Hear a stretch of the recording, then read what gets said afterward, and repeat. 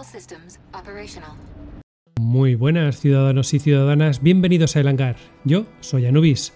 Bienvenidos al hangar. Bien, bueno, pues ¿qué os traemos hoy? Nada más y nada menos que vamos a hablar del parche 3.12. Es el último parche del año, un parche con ciertas peculiaridades, pero bueno, antes de eso vamos a empezar con cuatro cositas y ya pues me meto de lleno en el parche 3.12. Bien, bueno, pues lo primero que vamos a hablar es de la skin de Night Runner que se podía conseguir cuando se hizo un pequeño evento dentro del juego para eh, dar a conocer la Mercury Star Runner. Bueno, en principio ganó esta skin que ponía Advocacy y tal, pero está confirmado que eh, ya no va a tener eh, esa señal de Advocacy, que como sabéis, de, Advocacy ¿no? es el como la policía de la UE, ¿no? Una policía muy especializada. Entonces, bueno, pues no quieren que los backers o que los ciudadanos tengamos una insignia oficial, por así decirlo, de manera que la skin será seguramente igual, solo que eh, van a quitarlo de Advocacy y van a poner el símbolo de Crusader. Eh, en cuanto a skin, como es, bueno, pues se podrá quitar y poner según necesidad, o sea, eso ya no, no, cambia nada. Así que bueno, y la tendremos cuando salga el parche, porque en principio en los reinos de prueba todavía no la han implementado, pero bueno, para cuando salga el parche ya estará en manos de todos los que la tengamos, que lo hubiéramos conseguido en su momento. Aparte de esto, bueno, una información importante, ¿no? Desde mi punto de vista, y es que todavía sigue en pie el hecho de que nos van a entregar el roadmap actualizado antes de que acabe el año. Para ser exactos, o según sus propias palabras, antes de, que hagan su parada, sus vacaciones, antes de que hagan las vacaciones. Em, ¿Qué significa esto? Bueno, pues que mientras tanto siguen trabajando en ello eh, y que además de eso la vamos a tener o vamos a tener un pequeño vídeo en el que se, se nos dirá cuáles son las funciones que tiene, etcétera. Y que eso va a ser, entre comillas, pronto. Lo que significa, bueno, pues dentro de, yo, de mi estimación, que vamos a tener la IAE, ¿no? Esa International Aerospace Expo que empieza esta misma semana y que la vamos a, cubrir completa.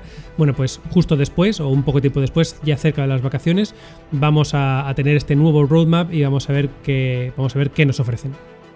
Bien, entramos directos a hablar de las características más importantes del parche 3.12 y entramos directamente, bueno, pues con la primera que siguen haciendo mejoras en lo que es, bueno, pues esa, esa calidad de gráficos que vamos a tener en los planetas. Básicamente lo que dicen es que como parte de esta actualización están invirtiendo bueno, pues más interés en el tema del detallado teniendo en cuenta los datos climáticos de la zona. ¿no?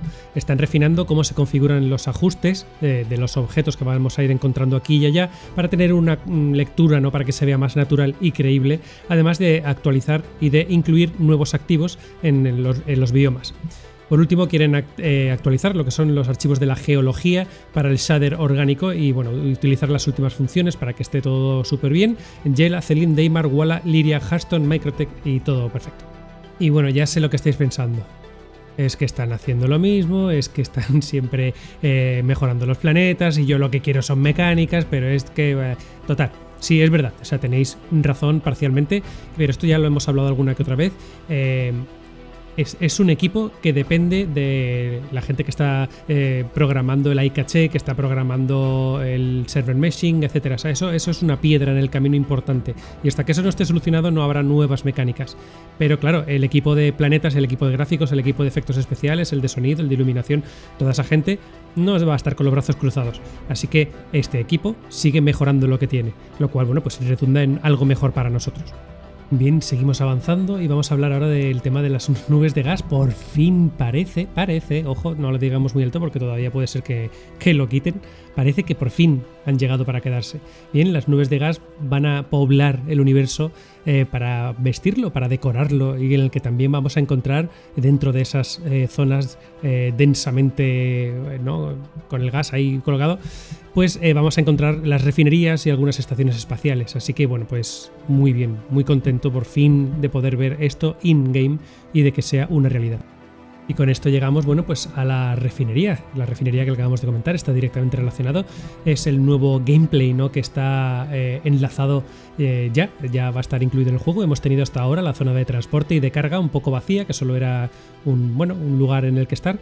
Pero ahora digamos que se ha completado el círculo porque ya por fin con la minería terminada, con el transporte terminado y con lo que es la refinería terminada, bueno pues ya tenemos eh, una macromecánica terminada, lo cual está muy bien y lo vamos a tener para la 3.12 y bueno pues vamos a ver cómo funciona, pero la verdad es que todo apunta que es un paso relativamente importante eh, in-game, lo cual, bueno, pues me parece perfecto directamente relacionado con esto, bueno, pues están lo que son eh, las pantallas donde vamos a poder realizar todo el proceso, ¿no? Ya sabéis que las refinerías van a estar incluidas dentro de las, de las paradas de descanso, pues sí, dentro de estas pantallas eh, vamos a poder seleccionar qué es lo que queremos refinar y nos dirá cuánto tiempo va a tardar, qué, beneficio vamos a tener y todo eso, ¿no? En cualquier caso, lo que tenemos en pantalla es una especie de muestra ¿no? de lo que va a ser, pero no es exactamente así, porque bueno, están trabajando en ello para entregarnos un producto pues, más terminado, mucho más definido. Y seguimos avanzando. ¿Qué es, ¿Cuál es el siguiente paso? Bueno, pues la interfaz de minería actualizada.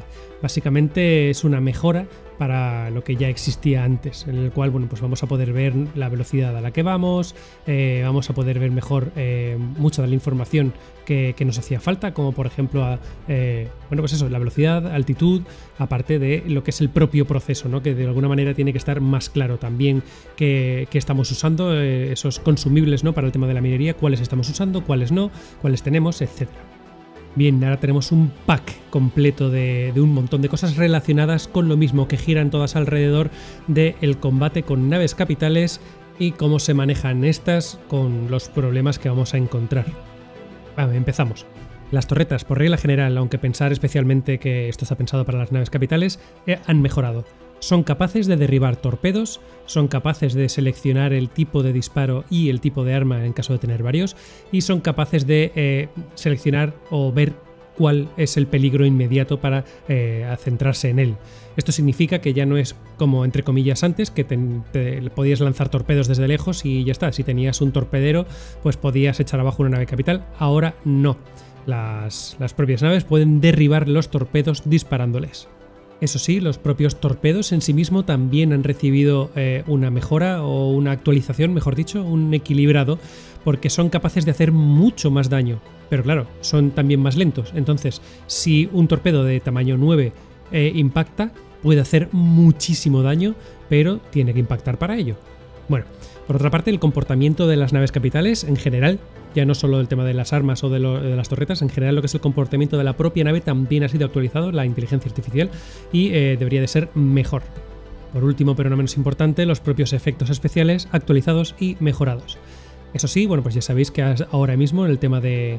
Eh, bueno, en el juego lo más grande que puede aparecer en el juego es eh, una Hammerhead, pero eh, en este 3.12 ya, si somos lo suficientemente malos, serían capaces de llamar a una Idris para proteger la zona. Así que, bueno, pues también es una buena manera para probar la IA y dejarla lista para Escuadrón 42.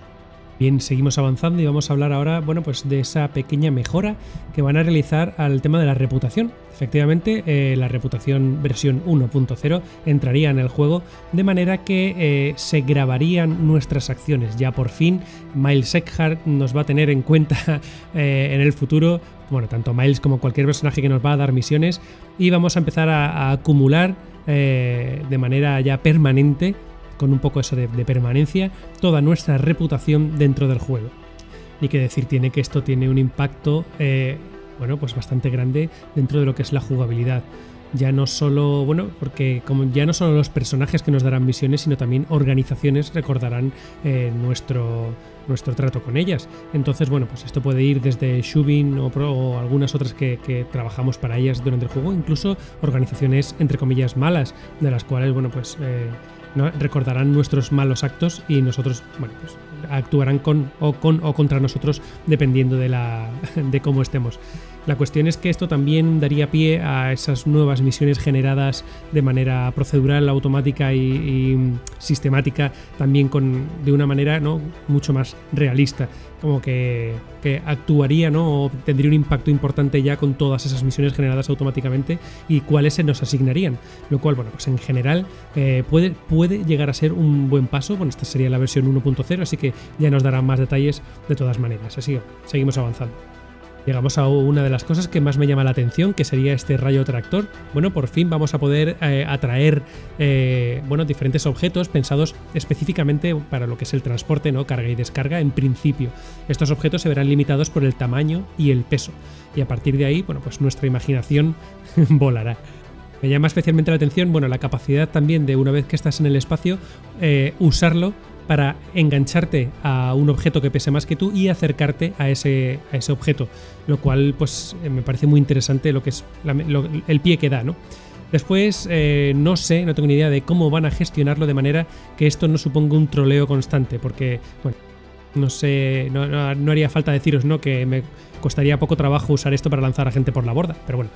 De todas maneras, como también estáis viendo en las imágenes, es, también es el primer paso de lo que sería el futuro, que son estas naves con enormes rayos tractores para poder, bueno, pues para poder hacer de grúas y arrastrar otras naves, e incluso eh, las propias que trae la Cutlass Black, ¿no? Para recoger cosas que están en el espacio.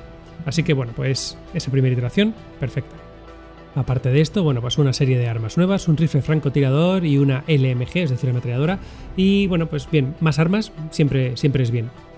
Y directamente relacionado con estas, pues el Zeroing, que ya lo hemos estado hablando en este último Inside de Star Citizen, que ya sabéis que consiste en corregir la caída de la bala a largas distancias.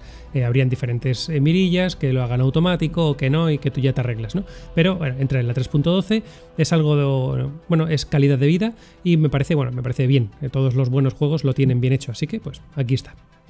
Seguimos avanzando. Bueno, pues la Xperia Talon, sabemos también que llega, es, fue una grata sorpresa, es una nave para mi gusto muy bonita, alienígena, eh, y habrá que ver su, después su funcionalidad en el juego, pero desde luego yo tengo muchas ganas de echarle el guante, eh, aunque eso sí, ya sabemos que estará sobrepreciada por el impuesto, impuesto alienígena, todo lo que no sea estrictamente eh, humano, pues al final es mucho más caro.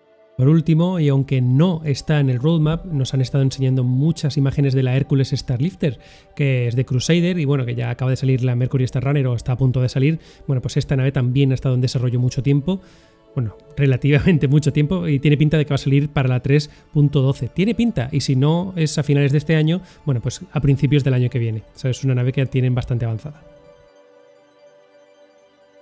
Bien, seguimos avanzando. ¿Qué nos queda? Pues eh, el tema de la actualización de los servicios de una vez que estás aterrizado. Básicamente lo que nos cuentan es que cuando empieces a reponer tus misiles, eh, yo qué sé, las contramedidas que hayas gastado, bueno, pues ahora su precio variará dependiendo del mercado. De manera que, bueno, pues ya sabemos que no va a ser tan barato ni tan rápido. De manera que, bueno, pues va a suponer un impacto eh, mm, negativo para el jugador pero mucho más realista también y en cierto modo también va a controlar que dentro del universo persistente no se spamen los, los, los, misiles y los cohetes y estemos todo el rato disparando así a lo loco y que cuesten poco dinero y que se recarguen rápido. Así que un poquito de equilibrado por aquí, nada mal. Avanzamos y tenemos la identificación de eh, los vehículos. Bien, básicamente lo que han querido hacer es eh, cambiar o modificar la manera en la que eh, nosotros vemos los marcadores de los vehículos que hay a nuestro alrededor.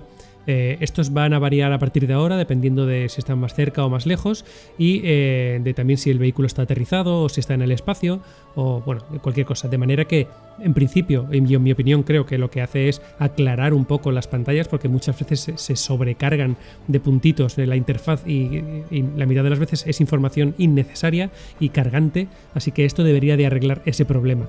Así que pues por mí perfecto. Y por último, y definitivamente sí es menos importante, pero bueno, aquí está, tenemos eh, la actualización de eh, los ascensores, los paneles de los ascensores en general. Bien, esto es una. Esto es una una mecánica, no sé, esto es algo que se ha retrasado mucho, se ha retrasado muchas veces, parece que ha aterrizado por fin en la 3.12 y, aquí lo vamos a tener. Así que bien, pues es algo que, mejora la vida del juego, del jugador, es una mejora, así que bueno, pues no hay mucho más que decir. Eh, bien, bien, muy bien, buen trabajo. Bien chicos, pues con esto hemos terminado el vídeo. Eh, decidme qué os ha parecido. ¿Creéis que la 3.12 está completa? ¿Creéis que Zig ha hecho un buen trabajo o que, con esta final, este parche final de año, mm, se lo pasamos? ¿No? ¿Creéis que deberían de meter algo más? Más allá de las mecánicas, esto y lo otro, que siempre hace falta más, lo de siempre. Mm, bueno, A mí, mi opinión personal, me da la sensación de que, flojean algunas cosas. Eh, por otra parte, también soy consciente de que hay mm, cosas que tienen terminadas y que no están puestas aquí. Por otra parte, poco se ha hablado del hecho de que eh, el parche 3.12 solo ha recibido cosas terminadas y mejoradas. No sé si estáis al tanto y estáis siguiendo al día el roadmap, pero del 3.12 poco se ha quitado, se ha puesto más de lo que se ha quitado. Por otra parte, también era fácil porque empezaron poniendo dos cosas, así que tenían que rellenarlo como sea. En cualquier caso, bueno, pues me parece bastante interesante eh, ver eh, este fin de año a ver cómo lo van a hacer. En cualquier caso, esto es un poco hablar por hablar porque todavía falta algún tiempo. Para empezar, tenemos este mismo dentro de dos días, estamos a 18, pues el día 20 tenemos la IAE, el eh, eh, International Aerospace, ya, ni, sé cómo se llama. La cuestión es que tenemos un free fly, o sea, una prueba gratuita de dos semanas. Se lo decís a toda aquella persona que quiera probar el juego y ver y sufrir en sus carnes esta alfa. Y, bueno, pues la pueden probar. Hay más de 100 naves volables. O sea, son bastantes. Si, desde luego, si tenéis ganas de probar alguna nave en especial, estas semanas son las semanas clave. Incluso para comprar. También sabéis que durante estas semanas se ponen eh, naves que habitualmente no están a la venta, se ponen a la venta. Así que si estáis esperando alguna en especial, mm, como sea, bueno, pues es un buen momento. Y bueno, pues ya en cualquier caso haré un vídeo más especializado y estoy pensando seriamente en hacer un directo también para que entremos todos a la vez y veamos el contenido eh, si se puede, ¿no? Porque sabéis que el día 1 cuando se abre todo por primera vez la cosa se complica porque empiezan a haber errores, todo el mundo entrando a la vez, hay lag, etcétera. Pues con esto, damas y caballeros, me despido. Espero que os haya gustado el vídeo. Ya sabéis, si ha sido así, like, comentario, suscribiros si no estáis suscritos. Aprovecho para darle las gracias a nuestra última miembro del canal. Se ha unido a nosotros. Eh, gracias, Cristina, por, unirte. Y bueno, como ya sabéis, eh, tenéis disponible los miembros, no solo un canal específico dentro del Discord, sino también eh, un canal de Telegram, ¿no? Para que estamos en contacto directo y nos podéis sugerir cualquier cosa, hablar y lo que sea. Bueno chicos, pues ya está, me despido, se despide el Ciudadano Anubis, nos vemos en el universo. Chao.